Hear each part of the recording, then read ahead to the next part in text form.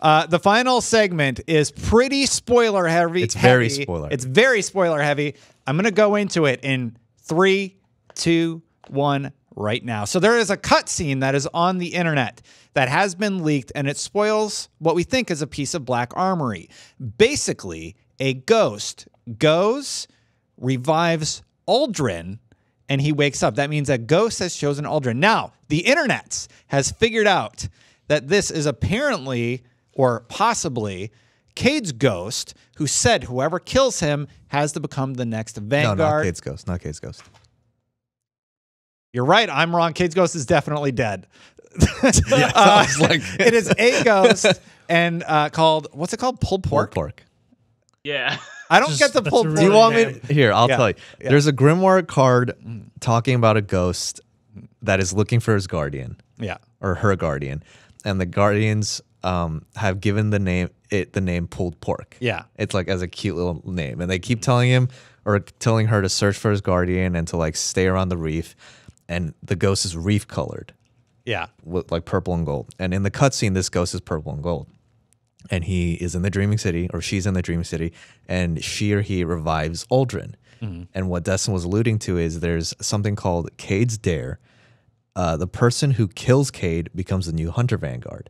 And since Uldren is a guardian now, guardians have no recollection recollection of their past life. So Uldren has no idea that he was Uldren, that he killed Cayde or anything like that. Mm. But if if Cayde's dare holds true, then he's going to be the new Hunter Vanguard, which introduces all these possibilities. Like, can you imagine like Ikora In the tower. and Zavala? Yeah. and now Uldren's the Hunter Vanguard. Like, they're going to be pissed. Like, I love it because it's like one last troll from Cayde. Well, In I a- don't know. in if a it- weird I don't even know if it's a troll. I think Like, it's yeah. like a really interesting thing. And then Yeah. there's another storyline. Like now, Mara Sov controls the Vanguard because her brother's mm. the Hunter Vanguard now. Really? Mm. Well, there's like all these speculations and theories. Like, Well, because yeah, I mean, just like Mara has influence on the Dreaming City and the Awoken from seemingly beyond the grave all throughout the campaign, right? Yeah. and so it's like not impossible to imagine that this is all part of kind of like her plan. What if they're just like, nobody tell him, nobody tell him? Yeah, Don't. I mean, so one, I think this is really interesting because it introduces some really crazy dynamics between Uldren. Like, mm-hmm.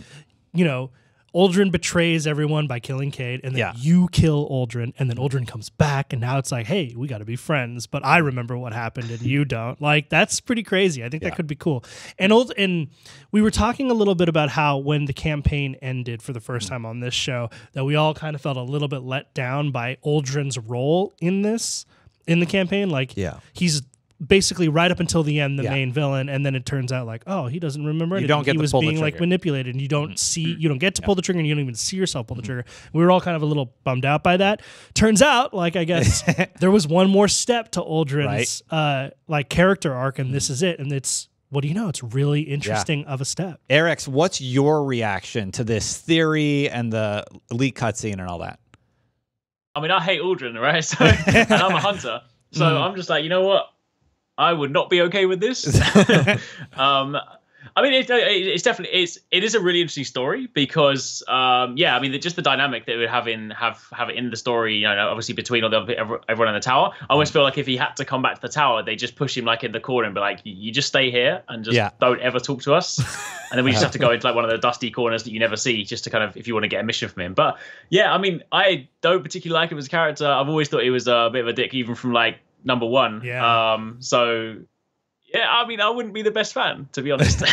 I, I would love this just because like he's so hated. It makes him super compelling as a character. Yeah. Hmm. And the interactions Oh, the. Vanguard like have to have with him. And what if they put him in the corner and he's like, I don't know what I did. And like he feels really bad and he's really depressed. and then all of a sudden like- you feel bad because Yeah. he's So you being start- alienated right? by everyone but Yeah. he Well- doesn't know why mm-hmm. like so what i'm super excited about is like what if he starts getting his memories back you know mm. and then he like from the inside out takes down the vanguard again things like that. And another another thing that i'm super pumped about is every time we get a dlc it seems like they just throw away the story that we just had Yep. right?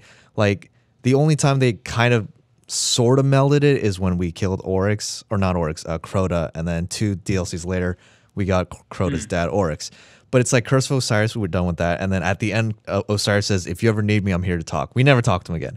yeah, no, that's the other thing. I Yeah. I've said this before, but like Osiris to me was for a long time. This idea of legendary guardians has always been the most interesting part of lore for Mm-hmm. me. Like that's why it was so cool to see like Lord Saladin pop up and like Rise of Iron and all that stuff. Yeah. Uh, but yeah, like so we do all this we do all this really interesting well sort of really interesting stuff with uh the Infinite Forest and Osiris and then what? He's just still in there? Yeah. Yeah. I Kinda mean, like, He's in there fighting like yeah, infinitely. doing his thing and We we're not helping him or like we're not doing anything with Rasputin or Ana Mm-hmm. Bray. And it's like, I, I Mm. love that it seems like they're taking the Dreaming City story that we just did and they're expanding it. Which is good. Yeah. and- Mara Sov has Yeah. been super compelling because there's little changes every week when you do it and get to that final scene, right? I mean, I, I'm definitely the person on this show who always asks for the world. But like, wouldn't it be cool if like on all of those fronts we're always kind of getting continual expansion and story elaboration and stuff, even if it's just minor.